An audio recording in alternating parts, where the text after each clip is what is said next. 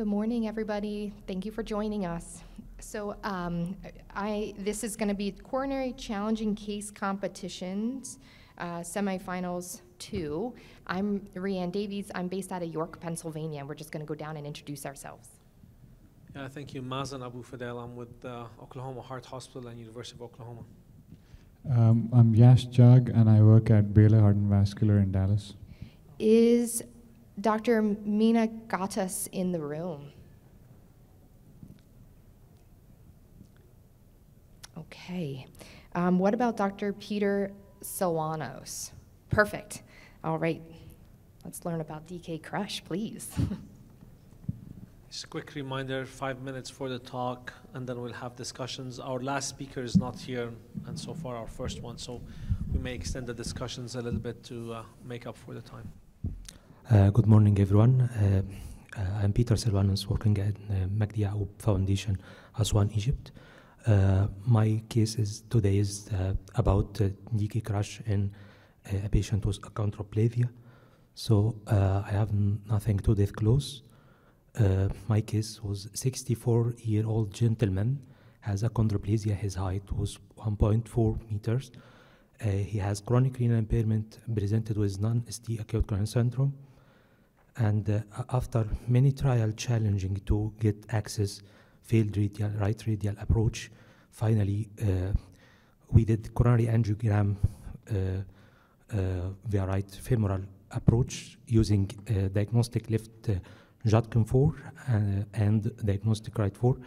And as uh, you may show, uh, his right coronary has a severe lung lesion in mid RCA, and he has proximal LAD with obviously non-landing zone in ostial LAD, and uh, the left meniscus trifurcates into LAD ramus, and circumflex, and the uh, proximal ramus have a borderline towards severe lesion in the proximal ramus.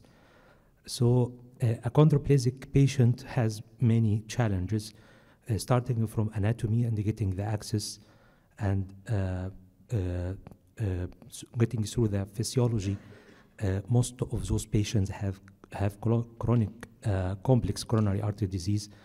Uh, many mechanisms be, comes behind this presentation, starting from nutritional status affecting the growth hormones and the progress of cell division, which affect the uh, presentation of premature atherosclerosis and the propensity for arterial occlusion of narrower vessels, and ending with uh, uh, disturbance in the hormonal and the metabolic activity in those patients.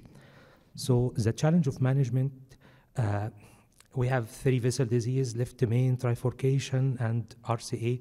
So our team discussion was uh, done and uh, uh, taking into consideration the difficulty in surgery, starting from anesthesia and ending with getting the surgical grafts, the patient was opted for scheduled PCI.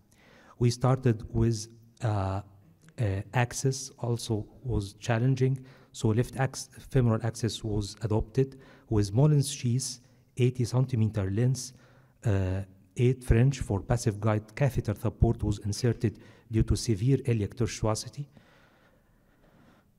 And uh, guiding 7 from French uh, run through wire was put in LAD, another run through in the first diagonal, which appears diseased ostially, and a third ramus in the a third run through was put in the ramus intermedius. IVUS catheter was introduced for sizing the LAD and ramus and uh, showing the plaque burden of both vessels.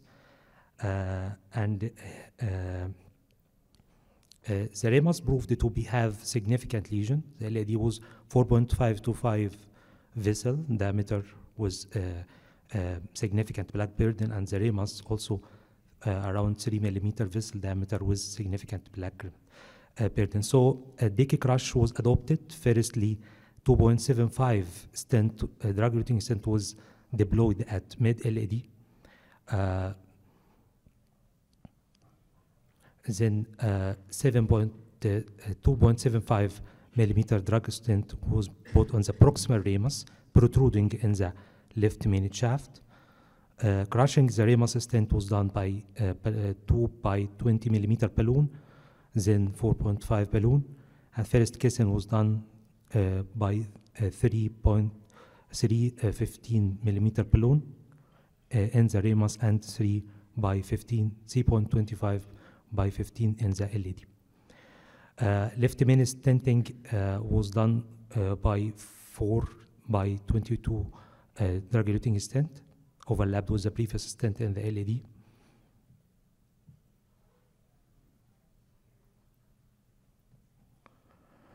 And the POT was done using 4.5 uh, by 12 millimeter NEC balloon.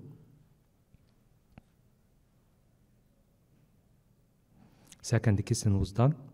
And uh, here is the final results with TIMI2 flow in the circumflex, which was accepted regarding that uh, ramus was the most prominent vessel uh, and improved a little bit with some pharmacological management. And here is the final results with TIMI3 flow in the LAD and pinched out ramus. The Mullins sheath was removed and replaced by 8 French femoral cheese. And here is the post-stenting IVUS image of both LAD and ramus stents. So uh, my uh, key learning points for the operator and the team, dwarfs have an increased risk for cardiovascular morbidity and mortality. Achondroplasia is the most prevalent cause accounting for more than 90% of short stature individuals. The risk of heart disease is twice as high in achondroplastic dwarfs compared to the general population and three times as high when comparing male achondroplastic dwarfs with the general population. Uh, and um, endovascular access have uh, difficult challenges using the translated approach due to short limbs, elbow angles, and kyphoscoliosis. About one third of patients with achondroplasia have multi-vessel coronary artery disease and critical coronary, uh, coronary artery disease, a form of left main disease bifurcation occlusion, has been described in those patients. Two thirds of patients uh, undergo coronary intervention, and one third un- undergo CABG as a management strategy for uh, this coronary complex uh, disease. Extra backup guide catheter for passive support by long sheaths usually is needed as a key step for success in engaging and dealing with complex coronary lesions, especially in those patients. And finally, thinking outside the box and managing side issues are mandatory skills for good interventionists. And thank you. And always remember, complexity comes behind the short. Thank you for attention. Well done. I think uh, uh, the trifurcation alone is a hard thing to sometimes deal with, and when you're dealing with access issues and everything else, you manage that quite well. Um, any comments? Yeah, so uh, achondroplasia is the most common cause of dwarfism. So obviously the height becomes an issue. So, um, you know, what are some of the takeaways that you had? So you spoke about some of the access issues. When when you're thinking about guide length and things like that, did you have to do any sort of modifications? Sorry? Uh, The gui- the guide length and access issues, do you have to make any modifications? Yes, I, I used guideline. Uh, we don't we didn't have long sheaths, so we used the Mullins sheaths to give guide catheter support uh, for engaging uh, and dealing with uh, the coronary lesions uh, and doing the bifurcation, the bifurcation lesion in left system. Uh, so actually, we got stuck with the diagnostic coronary angiogram, so planned for using the Mullins sheaths after the diagnostic coronary angiogram. Um, uh, that's a great case, by the way. Um, I guess my question would be, despite the fact that uh, you know achondroplasia, um, the the coronaries by imaging actually looked fairly normal sized. Is that something you expected when you uh, did this uh, intervention? Yes, uh, so intravascular imaging was helpful in uh, showing the extensive atherosclerotic lesions, especially in the proximal ramus, and helped a lot in, in deciding the proper management strategy for this patient. What was also interesting is that the coronary diameters were actually quite normal in size, which is interesting. Yeah, like you're putting normal sized coronary stents in, Yeah. in somebody where I wouldn't necessarily expect that to be the case, and I was wondering if that surprised you or not. And, and the aorta actually, because, I mean, normal, normal size guides were used, so I was thinking you would need a nor, like a smaller size guides or, you know, because the aorta would be smaller or the coronaries would be smaller diameter wise, but it's not the case, and I'm not sure if that's the usual in achondroplasia or not. Uh, achondroplasia, I think, is a, a stretching of the vessels and the iliac mainly uh, got the problem in engaging. So uh, it's the, I think the problem is not that uh, small or uh, tall vessels, uh, rather than stretching or compressing the vessels, especially the iliac vessels in achondroplegic patients. Did you, I mean, you used eight French. Did you think that was a little bit too big for that patient, to be honest with you? I mean, we expected I know that it's a lot of tortuosity, Yes, but you got over it very nicely with the sheath and the long sheath. Uh, definitely would highly be recommended. As you saw, it helped your intervention so much.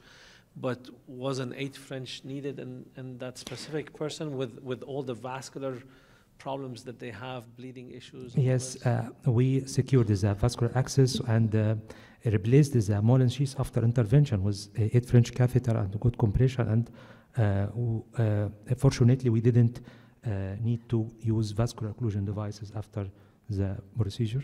Uh, but I think uh, eight French was helpful in uh, managing uh, three vessel disease and was anticipating problems during the uh, procedure. Curious in the audience, how many people out there have taken care of a patient with this disease? Yeah, I haven't personally. Have anybody on the panel otherwise? No. The only thing is the length part, so the radial becomes quite problematic just because you have a lot of the catheter hanging out of the body.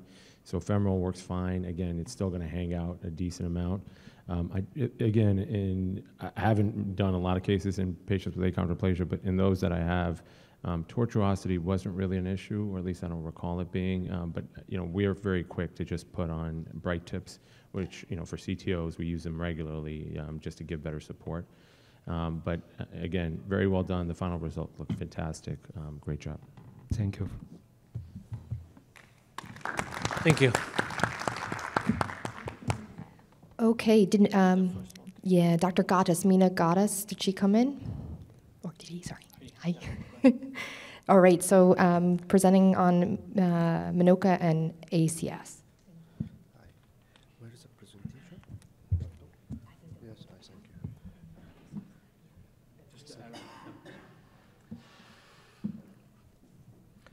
Okay.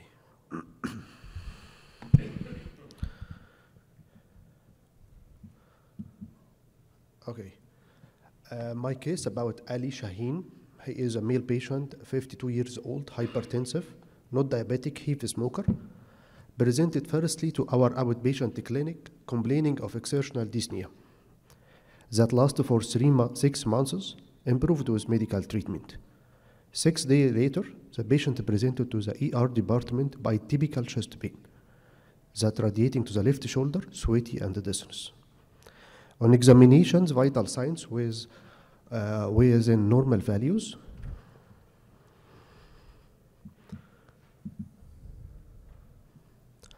Initial workup uh, was done, including a chest X-ray was normal, lab was normal, but the cardiac markers were mildly elevated.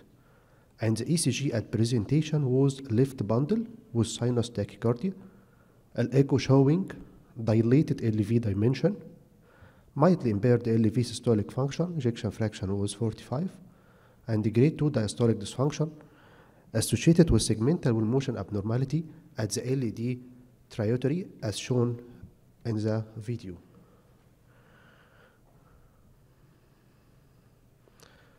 I think there is error. How can I close this? Just hit next, maybe it'll go away. Yeah, Don't worry about it, just go. Go, ahead. Uh, but it masking the. Anyone can help me? It's not, it's not advancing. Yeah, here you go.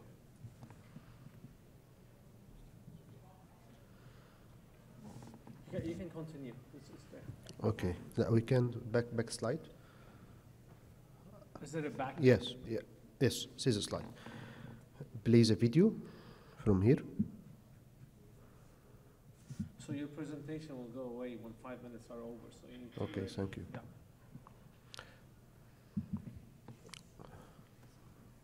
Okay.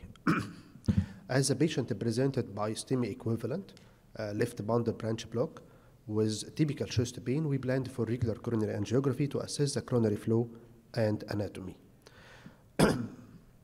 Radial axis was selected and the cath lab are activated. The coronary angiography showing the following. Left main with normal, bifurcating.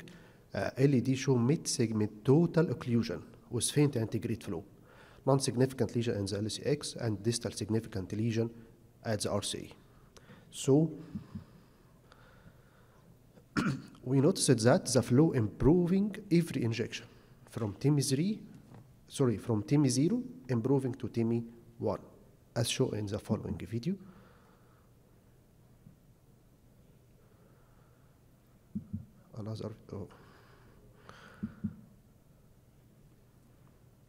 We decided to give intracoronary vasodilators, and the flow improved dramatically within the LAD from TIMI 1 to TIMI 3 flow, and the LAD show non-significant lesion as follow.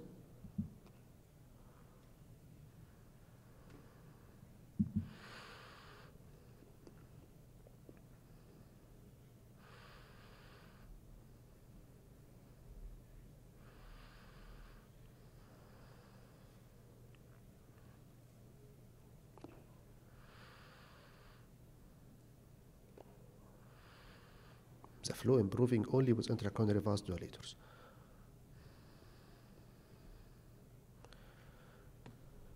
Can anyone see the underlying pathology? It will be clear in the following videos. Yes. LAD shows significant myocardial breach at its mid segment that probably considered the reason for severe spasm occurred leading to severe myocardial ischemia and angina. The patient has a long mid-LAD segment tunneled with a myocardium that can precipitate frequent attack of spasm and myocardial ischemia, especially with tachycardia and stress.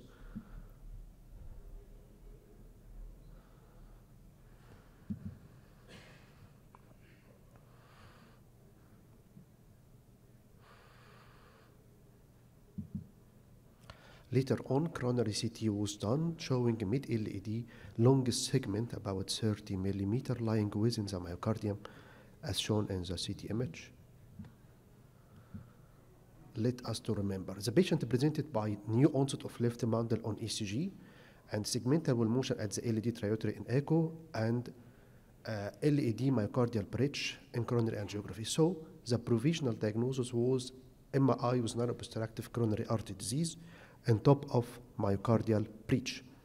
But the remaining question, is this form of myocardial breach explain the reduced LV function, was 35, the dilated LV dimension, 6.1, or there is an underlying fake cardiac condition. So detailed history was taken from the patient and the data of clinical significance was attack of respiratory viral infection. Two weeks ago that continued for a few days associated with Sorry? Yeah, time is up. Oh. Okay. you can, you can conclude. Tell us what you found. Um, I found the patient showing a post-viral myocarditis complicated by dilated cardiomyopathy. And it was a remaining cause for dyspnea, the first presentation for the patient. And the second cause for dyspnea is myocardial breach. So the patient has combined etiology for MINOCA, dilated cardiomyopathy on top of post-viral myocarditis and probably COVID. Uh, and the second cause is myocardial breach. The plan was uh, surgical unroofing for the breach after failure of uh, medical therapy. Um, the medication, the discharge medication was antiplatelet and low dose of anticoagulation to improve the slow of flow, and also intracoronary, sorry, and also vasodilators. Uh, the patient improved dramatically on the medical treatment till now uh, with NYHA class 1. Thank you. Well done. to um, further diagnose the myocarditis, did you get an MRI or anything yes, like that? Oh, yes. MRI, image is good. Okay. Yeah. Sorry. Well. Uh, yeah. So, sorry, quick question. So, uh, how many, uh, patients have you guys ever experienced that needed unroofing of their myocardial bridge? One. One, yeah. So I was gonna. s- Over 20 years. Yeah, so if, if you look at at least, you know, any sort of intravascular imaging data, anywhere from 10 to 25% of the population has some form of a myocardial bridge, particularly in the LAD. And so it's exceptionally rare that anyone would ever actually need true unroofing. Um, in a situation like this, uh, would you guys send the patients uh, out on antiplatelet therapy? Is there any role? There's some slow flow, maybe there's microvascular dysfunction along with the bridge. Uh, perhaps a beta, uh, a calcium channel blocker alone. Uh, is there any role for DAPT here? So calcium channel blocker would be good for muscle bridging, probably, um, you know, one of the ones that also decrease contractility and, and heart rate, verapamyocardism. Um, that will help with both if there's spasm or also with the myocardial bridging. Uh, you know, he did have a non-STEMI theoretically. I don't know how high his troponins went up. So even if you're doing medical therapy for, you know, just the ACS presentation, because there was, you know, regional wall motion abnormalities, you documented there was no flow in the LAD at some point. You know, I, mean, we, we do it, I do it, but I don't know if there's a lot of data to support this specific kind of patients, but they did present with a non-STEMI, so medical therapy guidelines, guideline directed would say to use dual antiplatelet therapy. Um, but for, for the, you know, remember most of the coronary flow happens in diastole and these muscle bridges are, are squeezed in systole. The problem that we see quite a bit is at the edges of these muscle bridges where there's a lot of turbulent flow, that's where atherosclerosis can happen. And there was a little bit of a lesion you could see at the distal edge of that muscle bridge in multiple views. I didn't see it on the CT image that you showed, but on angiography you can see like where the kink is, where the like, there's a little bit of narrowing there. That's where the problem was to start with. Yeah. So maybe when the spasm happened, there was a lot, a little bit of thrombus there or something that just improved. But uh, yeah, I would say medical therapy and rarely unroofing. I mean, I've, I've literally had just one patient went for unroofing because they were extremely symptomatic at a very young age. Remember, most of these muscle bridges are found incidentally in 60 and 70 year old patients when they come to the cath lab, but they've had them all their lives when they were young and running and jogging and doing everything. So. So let me ask a follow-up question to that because, you know, it's not uncommon that in patients who have myocardial bridges, we actually do see um, significant stenoses. What do we do with it? It's usually on the edges, it's not usually in the middle, as you suggested. So do you stent it? Do you send it to the surgeon? No, what, what do you do? And then how do you do it is the, follow-up question. You know, what stent do you put in? If you're gonna stent it, are you gonna leave it alone? You're gonna send it to the surgeon? So let's just ask the panel. Yeah, I think avoiding stenting in a myocardial bridge is, is key, but sometimes you're, you are left with no option. Sometimes patients present with STEMI and they, you don't know it until you either image or um, get flow restored there. Um, I think this is where intravascular ultrasound or OCT can certainly help too, because if there is a lesion going into the bridge where you can avoid a, and have a good stent edge prior to it, that might be the most ideal situation. Yeah, I think if there's any indication for patients to go to surgery, that would be uh, what the, what needs to be done. And most of the time, they don't unroof it; they just put a lima to the distal LAD, which is appropriate. Um, you know, I've I've had exactly that experience where a patient comes in with a STEMI and you put a stent, and then you notice this is a, an area of a muscle bridge. The only thing I would I've done and I would suggest is don't, if you have to do it, don't end the stent in the middle of the muscle bridge. Just cover the whole muscle bridge. And most of the time, you know, patients do okay. The radial strength is a problem, especially with the newer stents. The older stents, the radial strength were like thicker struts. They used to like probably not kink as much. So stent fracture is a real issue. And if that happens, then definitely you're left with one option, which to go to bypass, even if it's just lima to the LAD after a stent fracture, in my opinion at least. Yeah, I think that's a great point. Um, probably won't use a thin strut um, stent in this case, uh, like by, like, or at least Biotronik, which is 70 microns versus um, maybe something else that's 100. Um, I think DCBs would probably have a good role, um, you know, if if and when they are approved. Yeah, um, uh, I would agree with that. I mean, um, you know, in part of our brachytherapy program, uh, there's a you know subpopulation that you see, and it's patients that have had myocardial bridges that have been stented and then restented for stent fracture, and they still don't do well. So if you can avoid stenting, do it. Maybe surgery and or DBs in the future may be the um, optimal approach. Thank you. Thank you. Thank, you. you. All right, and then can we get our next speaker for dissection or lesion, Mina Seha?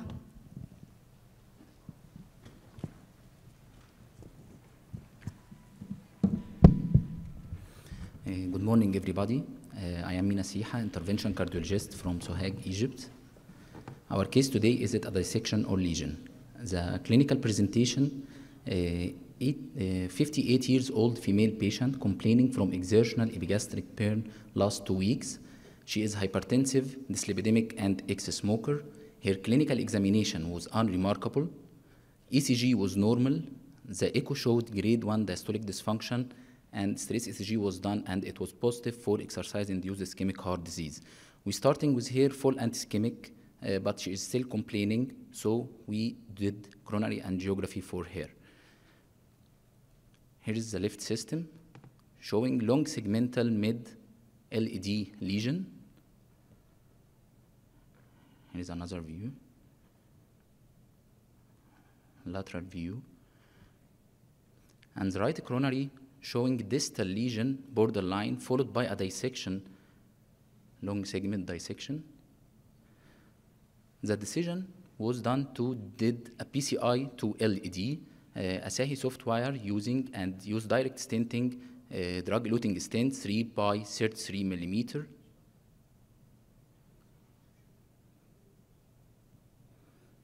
Sorry. It doesn't go back. Ah.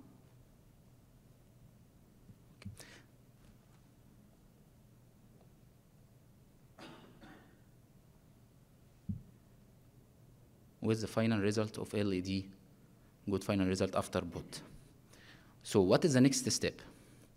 What do you think about RCA lesion? Will you leave it or wire it and stent? May the dissection affect the flow in the RCA? May be the cause of such symptoms? We decided to, get, to have another look on the RCA, the same, so we decided to uh, uh, hospitalize the patient for two to four days and follow up of the chest pain and ECG as the patient has no other uh, high risk features of left main dissection or sustained arrhythmias or cardiogenic shock and follow up if there is has recurrent chest pain or ECG changes. So we hospitalize the patient and follow up, but the patient is still complaining from the same criteria of chest pain with no ECG changes. So we decided according to this algorithm which is reprinted from the JACC in 2022, if we give conservative therapy and the patient still has recurrent chest pain, so we consider repeat angiogram, which shows the same lesion borderline in the distal part followed by the dissection, and wiring showing Asahi soft, which shows that the lesion is unremarkable and the dissection probably sealed by the wire. And we didn't put a stent. The dissection was sealed by the wire without the need to put a stent due to non-significant stenosis after sealing the dissection. The patient has been transferred to the CCU with no symptoms at all for four days. Multiple follow-up visits were done for one year with no chest pain. Our take-home message SCAD is an important cause of acute coronary syndrome, particularly in women, even without traditional cardiovascular risk factors. It's difficult to differentiate between symptomatic and asymptomatic SCAD, especially in presence of significant lesion in another coronary artery rather than the dissecting one. Most coronary dissections will heal spontaneously, and conservative treatment is recommended for uncomplicated cases. Patients with left main mainstem involvement, complete vascular occlusion, ongoing chest pain, or hemodynamic instability will require coronary revascularization. PCI results are suboptimal in this challenging group of patients. PCI should be performed by experienced operator with the use of intravascular imaging, either IVUS or OCT, which is not available at our center at that day, and preferably with on-site surgical backup due to increased risk of complication. And finally, although the long-term prognosis is excellent, the risk of recurrent SCAD events is significant with an average rate of 5% per year. And thank you. You know, um, thank you for presenting this case. I think I think this is an interesting case. The question is, is this really a dissection? You know, um, th this is the flow. The flow dynamics are very abnormal, and you see that line, which you see it in big RCA's. Um, imaging would have been ideal. It's, it's sad that you, we don't have these images, and I understand the limitations, and and um, but many times and I've done it myself, that's where I'm coming from, you image, and this is perfectly normal. It's very hard for a wire to tuck a dissection that big completely, and when you remove the wire, it stays tucked in. The wires can tuck dissections, there's no question, but usually when you remove the wire, the, the spontaneous coronary artery dissections take time to heal. They don't heal that quickly. I think, and I'll like to see what the panel thinks, I think this is flow dynamics are abnormal here. Maybe there's a little bit of something there that made it abnormal. Um, I usually try to give nitroadenosine, see if they get better, inject more contrast, and it will, will kind of get the artery more opacified and better. I'm not 100% convinced it's dissection, but that's my personal opinion. I don't know what you guys think. Yeah, I would agree. I mean, uh, again, the fact that it's a large vessel like that and just got tacked up with a wire, um, conceptually, I mean, is it possible? The answer is yes, but I, I don't think that uh, makes the most sense. And so I think it just may have been abnormal flow dynamics, just like you stated. And again, intravascular imaging would have resolved that easily, either with OCT or IVUS. Um, a question for the panel. You know, let's say this was SCAD, and I'm sure you know you guys have a lot of SCAD patients in your practice. Um, are you guys doing repeat CTs um, three months, six months after the event, or they're symptom free? And then, um, what, what kind of imaging are you doing for um, FMD uh, rule out uh, in these cases? Yeah, FMD rule out is very important, and we do the whole panel to make sure they don't have that. Repeat imaging, we don't, because even if you see it, what are you going to do about it? I mean, if the patient is asymptomatic, they're doing good, and we have a number of them, and we are part of the registry, so we do have a big number of patients, and you know, we do the diagnostic. We try not to intervene, not to do anything unless they present with a STEMI or others, and we've had some of these too. But just to answer your question, I don't, and we don't in our center. So I'm uh, fortunate enough to uh, work with one of the um, SCAD and FMD specialists, uh, Dr. Heather Gornik at my institution. So um, I refer all these patients to her. Um, I haven't seen her um, do a repeat coronary angiogram or anything like that. Um, actually, what she does is she looks at the other vascular beds. So she does a CT of the head, she does a CT of the carotids, she does a CT of the, the renals and the peripheral vascular disease. But I haven't seen her do anything else related to a cardiac issue. Um, I haven't seen her ask for a repeat angiogram or anything like that. She just treats them medically. How, how did your patient do? Very well. Just for one year, up till now. All right. Well, just to ask about that LAD uh, stenting, just to talk about, you know, there was this post-stenotic dilatation.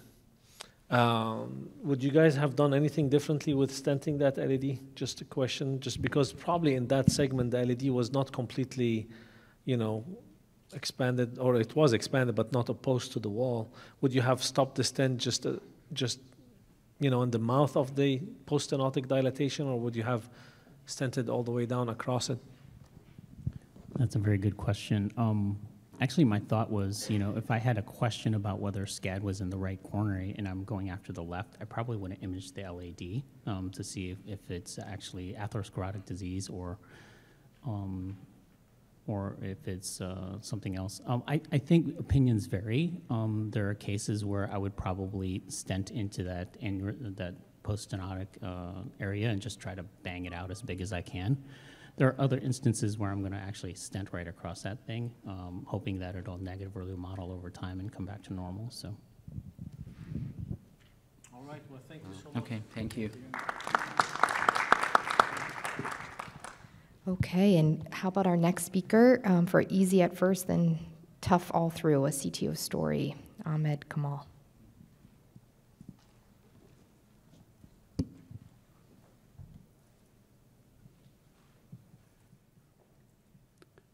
Good morning. Uh, I am Ahmed Kamal, cardiology lecturer in Qasr Al Hospital, Cairo University. I'm glad to present my case today, easy at first and tough all through CTO story. I have no disclosures. Our patient is 60-year-old gentleman. He's ex-smoker. He's known ischemic disease with PCI to the LAD by one drug-eluting stent seven years ago. Two months ago, he experienced recurrent attacks of typical angina pectoris, Canadian class 3. His ECG showed no ST segment or T wave changes. His echocardiography showed normal LV dimensions and contractility, no regional motion abnormalities, and no significant valvular lesions. we do diagnostic coronary angio, and as we can see, there is significant lesion in OIM1 branch and LCX artery. There is patent LAD stent with retrograde collaterals to the RCA. There is CTO mid RCA with faint antegrade flow.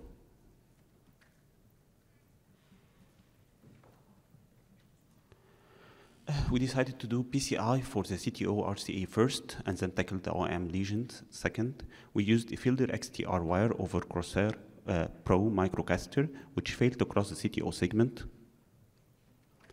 We do wire escalation using Gaia second wire, which successfully crossed the CTO segment, but the microcatheter failed to cross. We used a PTCA balloon 1.2 times 15 millimeter, which failed to cross the CTO segment. However, with multiple uh, trials, uh, the PTA balloon finally crossed the CTO segments after many trials and aided by the guide extension. We do pre-dilatation using PTA balloon 2 times 15 millimeters and NC balloon 3 times 15 millimeter. The lesion is now ready to deliver our first drug-eluting stent, which was 3.5 times 33 millimeters. However, something went wrong you can expect from the image, especially on the right side, that the stand gets shortened over the balloon, which is during the manipulation. We tried to manipulate the stand, withdrawing it and pushing it. It became deformed over the balloon. In this situation, we cannot do any maneuvers because if we uh, withdraw the, the stand, we can uh, have the balloon out of the stand. And so we had to deploy the stand in its place. We don't exactly where the stand in the RCA, but we had to deploy it. We do post dilatation of the stent using NC balloon 3.5 times 20 millimeter.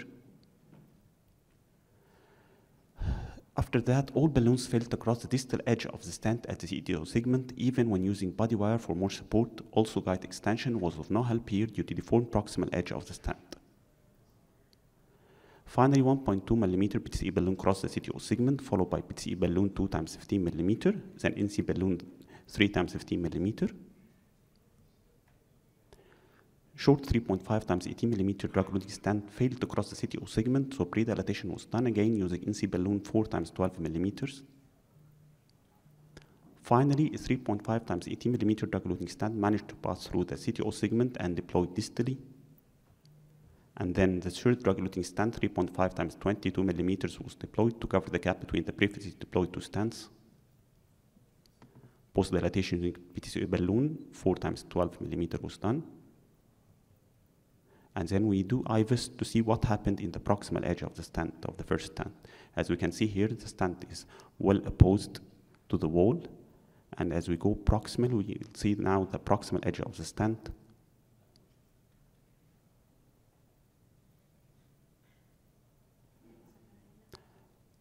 And as we see that the stent is, uh, thanks God, it is uh, protruding outside of the RCA origin a little bit, and so we covered the ostium of the RCA, and we became sure by using the IVUS. Our key learning uh, points here, we should prepare the region adequately to avoid any troubles during delivery of our stent. Shorter stents are better in tortuous calcified lesions because our first stent was a long stent, was 33 millimeter stent. Intravascular imaging is very important to ensure adequate results, especially after managing complications. Thank you. Yeah, great, great case, very good results. Um, why not use a guide extension before you try to even get the first end down? Try to take it, you know, because you were able to balloon with non-compliant Yes. balloons very nicely. Yes. Why not like balloon tracking or something? Get the guide liner down or whatever you use, guide extension, and then unsheath the stent rather than try. We didn't expect that trouble. We, we ballooned with a 3O balloon and it goes uh, smoothly.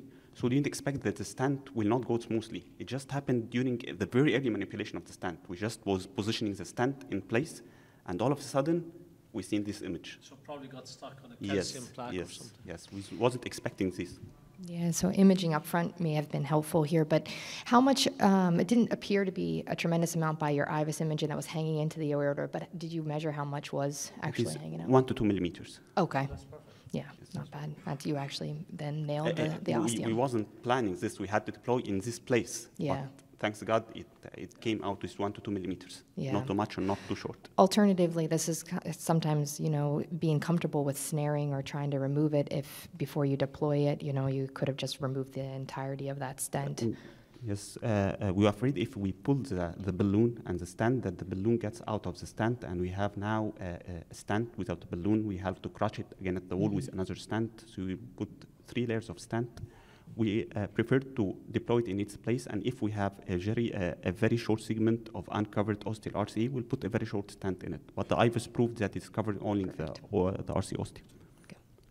I think, I think, um, you know, unlike other presenters, you have the luxury of having all the imaging and stuff, which is great. Um, maybe the IVUS should have come up before you try to bring the stent down, you know? Maybe after ballooning IVUS the vessel, maybe that would have helped you see a lot of calcification or something. Do you think this would have changed your management if you had IVUS, not just after the stent, but actually before you even attempted to stent at all? Uh, uh, when we used the balloon 3.0 and it opened freely, there was no waste in the balloon, we feel free that the stent will go smoothly and we will have no problem. But this doesn't happen because uh, uh, most probably there was a calcium spur in the vessels that we can see on imaging, uh, on, on regular angiography. It will appear on the imaging using IVUS, but we didn't expect that. Um, so our retrospective scope is 2020, you know, seeing what you did. Um, so I think if I had that much work to do um, to open up a balloon uncrossable lesion with all these other balloons, um, I, I may have tried to put a guide extension down. The other thing, you know, if your 3.0 balloon goes, I'll actually pull the used balloon back into the guide and push back and forth and see how much resistance there is and see if I can actually get a stent down there or if I need to put a guide extension down before I start putting metal in. So those are kind of easy tricks you can use. Yeah, that's a very good point. An unwrapped balloon, if it goes freely across the lesion, then you won't have a problem with the stent usually because there's the stent is a metal. I understand it can, ho- but if, if a wrapped, if an unwrapped balloon has a lot of difficulty going back and forth, you probably need, need to do some more The, work on the that. balloon was going freely and was 3.0 balloon, so we didn't expect that. Uh, So your case just brings up the issue of what if you have uh, a stent but the balloon isn't with it? What do you do? So it really falls down to two different pathways. The first pathway is that do you have a wire across the stent or if you don't? If you have a wire across it, your options are markedly more than if you don't. If you don't have a wire across it, there's basically three things you can do. One, you just have to basically um, try to rewire through the middle of it. Good luck, that's not going to really happen. But you have to either stent, exclude it, and crush it, or you have to snare it out. Usually, if it's in the periphery, let's just say it's somewhere in the abdominal pelvic vasculature, the vast majority of times you can leave it alone. And we know this from the early stent era where stents would unfortunately embolize. If you have a wire across it, then you can do the same things. Where one, you can crush it, and then um, with another wire, and then stent uh, exclude it. Two, you can uh, snare it. Three, you can get serial balloons through like you did, and then balloon dilatate, and then actually deploy the stent. Another thing you can do is if you can get a balloon that's slightly undersized um, to the vessel distally, but you can get it through the actual stent, you can inflate it distally and pull it all back out. But obviously, that requires losing wire position. Another technique you could potentially use is you can use a series of wires uh, alongside of your old stent and then twirl them together and then sort of wrap them together and you can extract everything out as a unit. And then another thing you could do if you have your guide liner is you can put your guide liner as far as you can to try to cover as much of the stent, pin a balloon next to it, and then pull it all out as a unit. So these are all additional techniques. Fortunately, you didn't need to do any of that. I think you did a fantastic job. It looked great. But these are the things to keep in mind should it happen to you. Thank you. Uh, I will present the next case also. No, perfect. All right, wonderful. Then carry on. All right, another case. Can we restart the timer for the next case, please? It's the same presenter, thank you. Uh, our case today is the CT in CTO PCI. You should trust your instincts. I have no disclosures. Uh, we have a 57 years old male. He's diabetic, ex-smoker. He had PCI to the LAD and RCA by two bare-metal stents 12 years ago. Then PCI to LAD in stent restenosis by one drug-eluting stents two years later. He had CABG seven years ago by two grafts Lima to the LAD and saphenous vein graft to IM1 branch. Now he had chest pain on minimal effort. had to do coronary angiography. We had an LAD total in-stent restenosis, diffusely diseased uh, LCX with retrograde collaterals to the RCA. We had an RCA total uh, in-stent restenosis, as shown here. Patent LIMA to LAD with patent saphenous vein graft to OM branch. we decided to PCI for the CTO RCA in-stent restenosis. We used Judkin right 3.56 French guiding catheter for the RCA and Judkin left 3.56 French guiding catheter for left main. Fielder XTA wire over Corsair Pro microcatheter was used.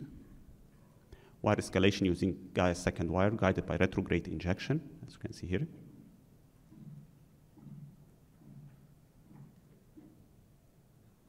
Seems true lumen in one view, but appears to be false lumen in another view. We use another view, as we can see here on the right panel. We withdraw uh, our microcatheter to move proximal segment to avoid entry to false lumen and escalation to Gaia third wire. However, the wire persistently enters into false lumen confirmed by the retrograde injection. At this time, we were exhausted, used three wires, and created a large dissection plan, but we decided to give our last wire his chance before terminating the procedure. Unexpectedly, the Conquest Pro wire finds its way through what seems true lumen into distal RCA.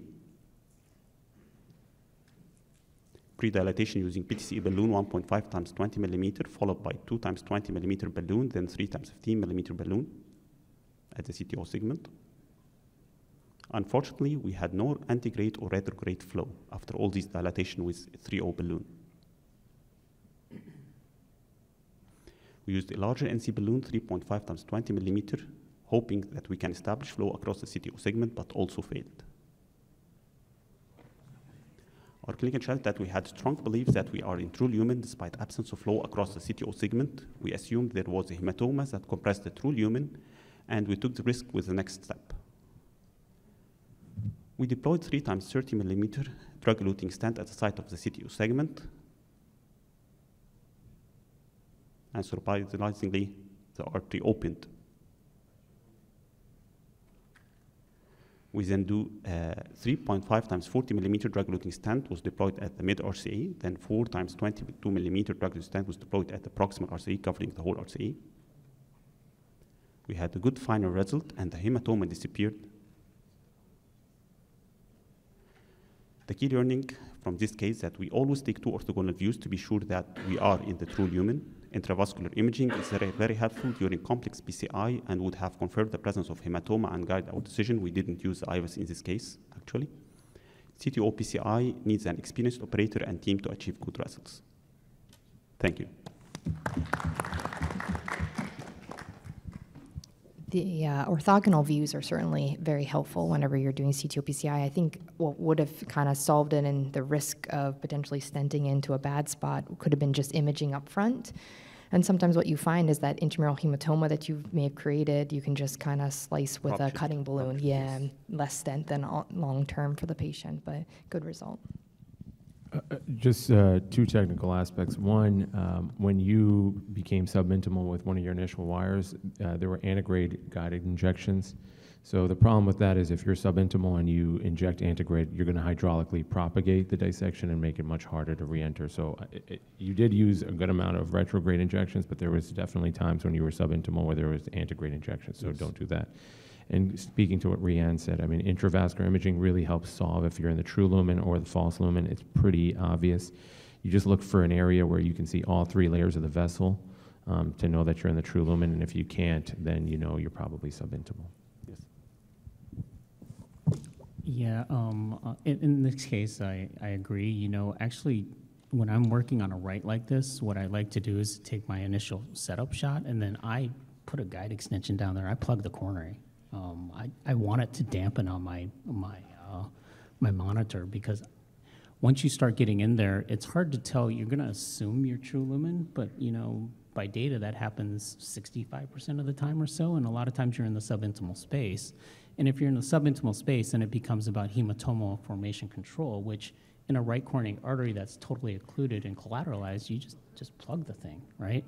and then you do uh, retrograde injections to figure out where you are, and that gives you time, if you're uncomfortable doing ADR, parallel wire, what have you, to pull your gear back a little bit, do use other wires to try to get in the true lumen without a huge hematoma formation. And, and the other the other thing is what Darshan said, which is you know don't do a lot of antegrade pictures. Um, I typically use an imaging catheter when I think I cross to make sure I've crossed and to know where I'm actually need to, to stent. So. Just, just a question. Do you think this was a hematoma, or do you think just where you re-entered, you know, when you ballooned, there was a flap there that was occluding flow? I mean, I'm, I'm just maybe, maybe a dissection flap, maybe a because hematoma. you, we I mean, I was sure I was hoping you would have a retrograde picture when there was no flow to see. Maybe it would have We had a retrograde injection, yes, And and, it- and the retrograde stops at the CTO segment, Okay. and the antegrade at the same point.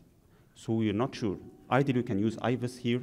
It can tell us. Yeah, I wonder if it's very, very focal, like you say. Yes, it's just one is point. very, very maybe it's just the yes. re-entry where the wire Maybe- is, and maybe when you balloon it, it expands when you take the balloon Maybe out. I mean, I'm not sure, but it's are not sure. interesting to. know.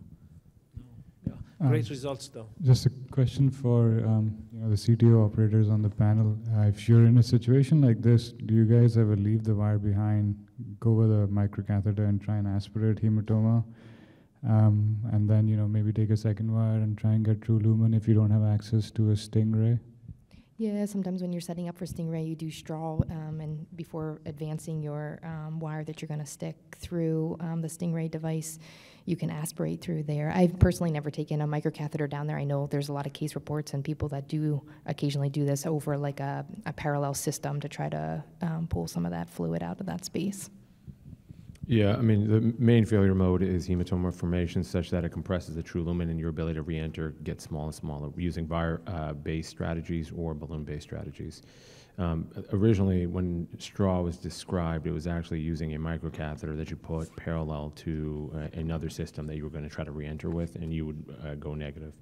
Um, there are newer systems like uh, Rhian spoke about. So the recross catheter, one of the benefits of that is that you can actually um, aspirate, do straw with one of the ports while you try to re-enter with another port. You can't do that with the Stingray balloon.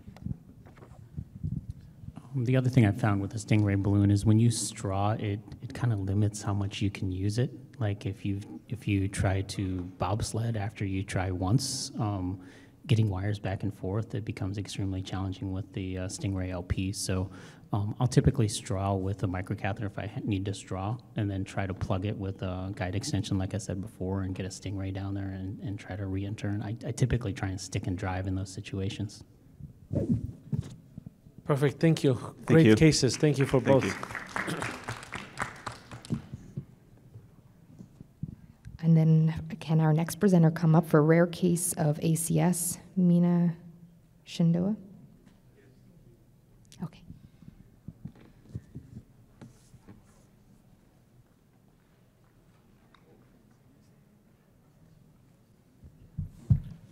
Hello, uh, I am Mina, uh, Mina Shenouda from Egypt.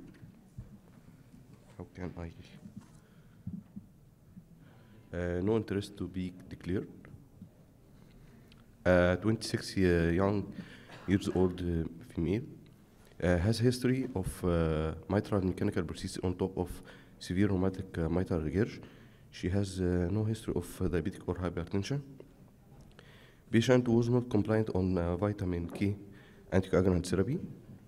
Uh, she was complicated by a previous attack of cerebrovascular accident with no residual deficit. Uh, she had uh, redo mitral valve replacement on top of malfunction uh, mitral, mechanical mitral prosthesis. Uh, presented to us by attack of uh, typical chest pain. Patient upon presentation was hemodynamically stable. ECG was done, showed ST elevation uh, in inferior lead, lead 2, 3 aVF, plus reciprocal ST uh, segment uh, depression at uh, high lateral leads. Uh, it was diagnosed as STEMI. Uh, PCI team was activated. Uh, angio, angiography was done. CRO uh, view show a ring of mitral prosthesis. Average length of left main bifurcating to LAD that was free from any significant lesion, and LCX uh, supplying several OM branches.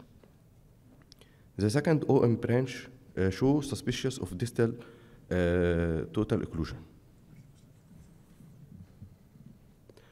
Uh, RAO cranial uh, view confirms distal occlusion of OM uh, branch, as you see.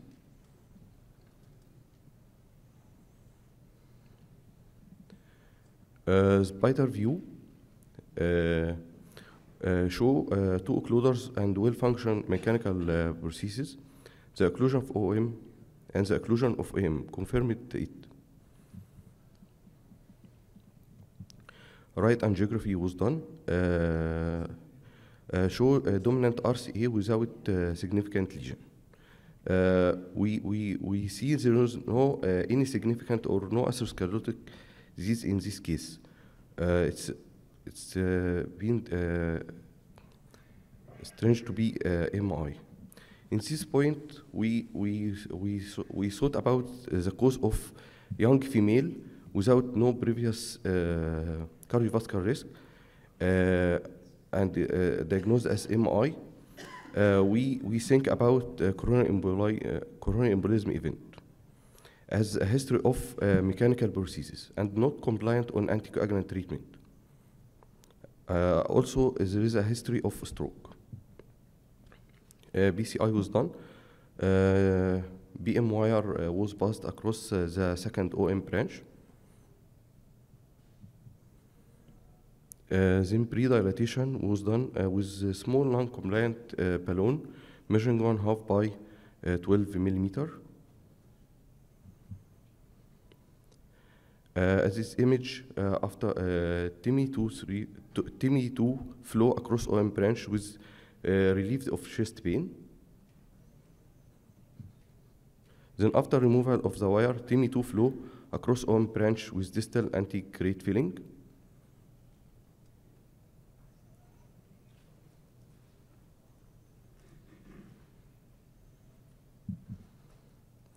Uh, after PCI, uh, laboratory tests reveal uh, a high sense of troponin level of uh, uh, 11 uh, nanogram. The upper limit is 0.06.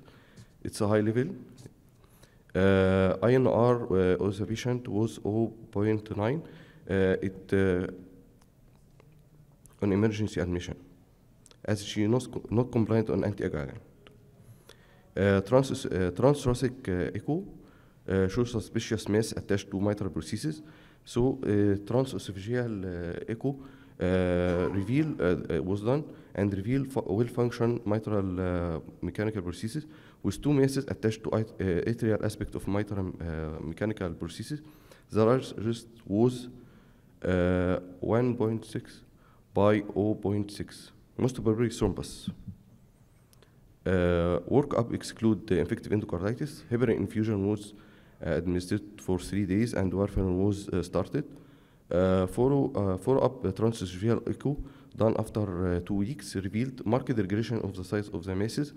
The largest one regressed from uh, 1.6 uh, by 0.6 to 0.6 uh, by 0.3, uh, about half, after achieving INR, the target of INR of 3.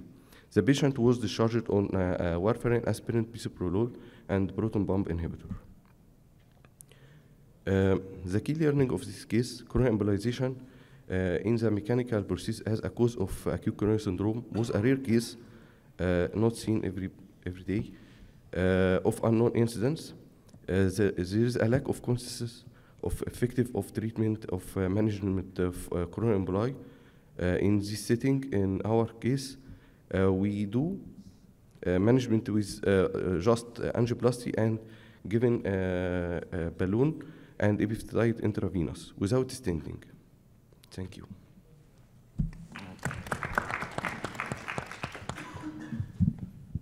Think these cases are always uh, um, challenging, particularly when you're dealing with young patients that have to be on anticoagulation. But with that being said, um, this I think is another instance where imaging maybe would have helped us too to really like look at that artery because it um, size and maybe um, if there was something that was embolized down there versus a um, little bit of a dissection that may have occurred during the time too. Any thoughts? Yeah, I think, you know, I mean, what's common is common. She has thrombus on the mitral valve. It's most likely embolized, but the angiogram looks a little bit also suspicious for spontaneous coronary dissection, which can happen in young female. Again, most likely was an embolus, but you can never tell. But I think it's important to try and tell the difference. Um, because if it is uh, happen to be spontaneous coronary artery dissection, then you need to work that young lady up for, you know, other vascular disorders like we what we discussed earlier. It's it's really hard. The angiogram is is hard to decipher if it's uh, spontaneous coronary artery dissection. But when you said there was thrombus on the mitral valve, that makes it a little bit, Mm. you know, you feel like yeah, most likely Yes, that's yes. what it is. But that's something to keep in, in mind for sure. I, I think that's an interesting case. Um, I, I guess the question from in my mind becomes, you know, if you believe that's coronary embolism and not SCAD and not plaque rupture, would you try to balloon it? Would you try to use an aspiration catheter to aspirate it out and then image it? How would you how would you approach this? I guess is the question. Okay, Uh, here's, we- here's my thinking. If, if you're gonna put a wire and do something, I would have done something more than just 1.5 balloon, to be honest with you. First, you're committed, so either do it or don't do it. Um, and I would like to know what's happening. So for me, if I can reestablish good flow, I want to image. And again, I don't know if that's available where, where you're practicing because I want to make the right diagnosis because it does have long-term, uh, you know, consequences. If it's spontaneous coronary artery dissection and she had fibromuscular dysplasia and brain aneurysms, I mean, we need to know, especially if she's going to be on anticoagulation with an INR of three. So I think the the pressure to make a right diagnosis is a little bit higher in this 26-year-old female on anticoagulation with an angiogram that looked like SCADs, but most likely it may be spo- it may be embolization. It's it's tough. It's a tough case. Very good case. Tough Okay, case. thank you.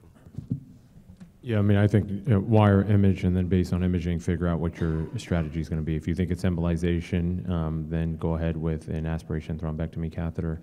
And if, uh, and if that doesn't work, then potentially some sort of balloon modification like was done in this case. And if it's SCAD, just get out of Dodge if she's pain-free. Um, yeah, no, I, I agree, and I think um, you probably should discharge her on aspirin and uh, and Coumadin both, not just Coumadin alone, um, just given the the event. Okay. You put her on aspirin Uh, too? Or do you just do Coumadin? Uh, I, I don't. What did you discharge her uh, medication? Surgery, was? uh, aspirin, uh, And Stronach. warfarin. Uh, Okay, Yes, perfect. yes, Do yes. you have Perfect. follow-up? How is she doing? Do you, It's fine. she's doing good. Yes, yes. Wonderful. Well, good. Thank you. Thank you. Thank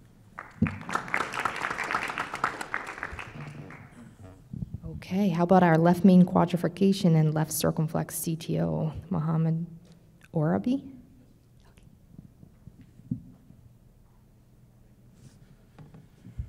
Hello, good afternoon, everyone. I have no conflict of interest. So my case is 66 years old male, hypertensive, diabetic, dyslipidemic. His complaint was exertional dyspnea since six months. He had a coronary angio at another hospital. he was advised to have CABG, but he refused. His syntax score was intermediate. So we decided to do intervention. This is his coronary angiography. We can appreciate an uh, CTO ostial uh, LCX. We cannot uh, see where is the ostium uh, at this point, and uh, uh, ostial to proximal LAD lesion. Uh, the left main is quadrifurcating into maybe uh, ramus, uh, high diagonal, and LAD and LCX. This is a contralateral injection, and we can see the LCX is getting epicardial collateral from the RCA. So we decided with starting with the retrograde as the, the ostium the, of the LCX is ambiguous, uh, introducing a guide wire, uh, Sion guide wire with a microcatheter Finecross uh, 150 through the epicardial collateral. And we could introduce the guide wire into the LCX. At first, it was uh, getting into the uh, through the ostium of LCX to the LAD, and then we changed its direction to the LCX ostium to the left main. Introduced the, the microcatheter into left main into the the, the get, uh, getting uh, the recipient guiding. And then uh, the, the case was straightforward after that. Uh, pre, pre-dilatation, uh, kissing balloon inflation, and then starting with the left main LAD, uh, stenting, uh, uh, of course, after getting confirmation that we are in the true lumen using IVUS. After stenting, LCX ostium stenting, then POT, then kiss- kissing balloon, then POT. And this was the end result. Uh, we can see the ostium of LCX and LLE are, are um, good, are fixed good uh, with TIMI 3 flow in both LAD and LCX. Uh, and uh, also confirmed by IVUS that the stents with well deployed and well opposed. So uh, my key learning for this case is good planning is your way to success. Imaging modality should be obligatory in complex case for best results. Try to keep it simple as much as you can. And thank you.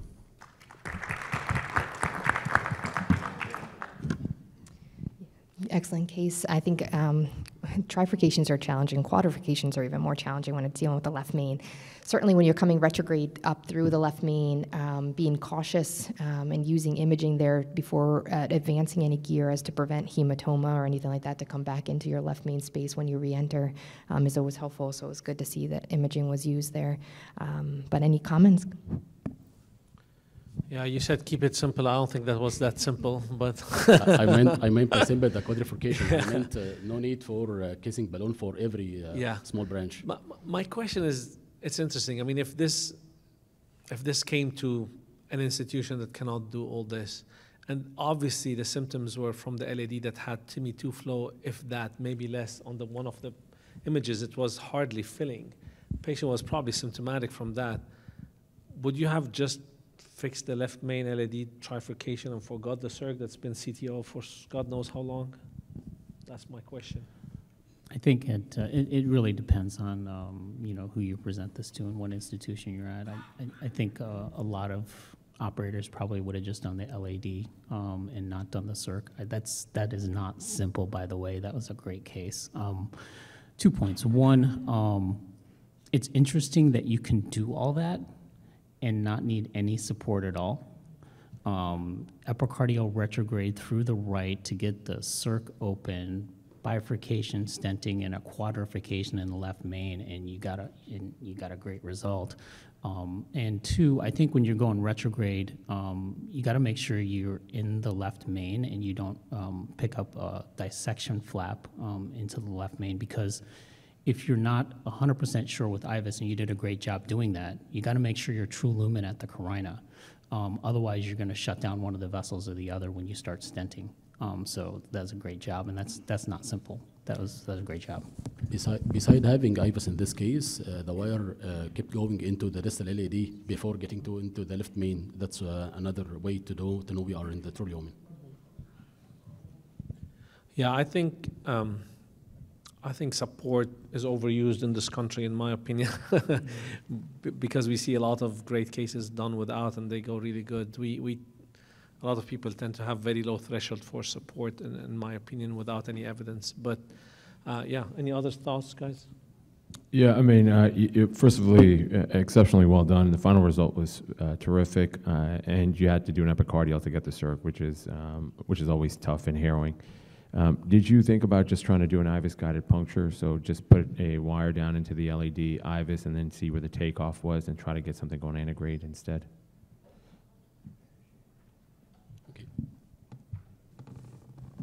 Did you hear his question? Um, did you try to do IVUS guided puncture to get into the circumflex, like any antegrade attempts before going retro? You just went right to the retrograde. Because that may just have potentially been safer, because obviously epicardial perfs, if you look at the um, open CTO registry, it was the epicardial perfs that um, led to the worst mortalities. So if you can try to avoid doing an epicardial, this might have just been a safer approach. Ultimately, you did it exceptionally well, um, but um, just as something to think about in the future. Great case, thank you. Okay, and then can we have our last presenter, CTO PCI and woven anomaly, uh, Michael Gergis?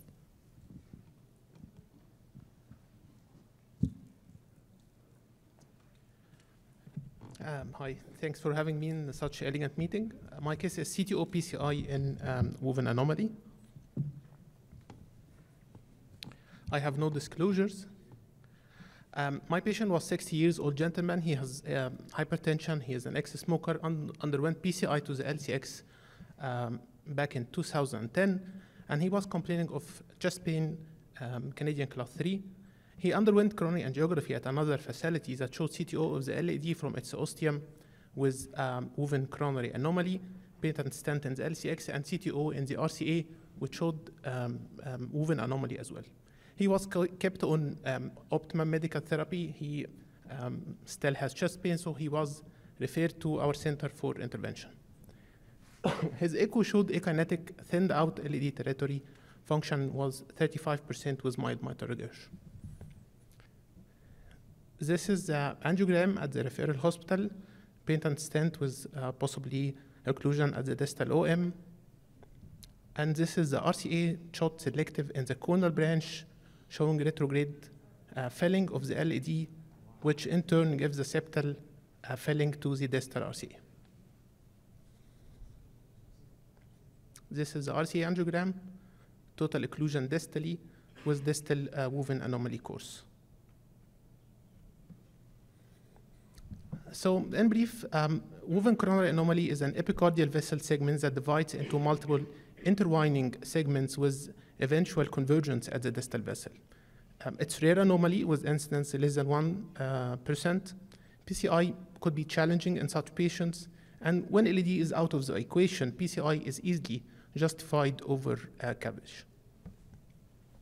So regarding the planning for such case, um, my plan was to start with an antegrade wired escalation, and plan B is to selectively engage the conal branch and do retrogradely via this uh, septal collateral. However, the point is we don't know how this connection at the LAD uh, behaves in the woven anomaly course. Um, I started with two Amplatz guiding to um, switch the Amplatz from the left system to the conal branch if uh, shifted retrogradely. This is a dual injection. I started with the um, Gaia second um, wire with support of Corsair Pro microcatheter.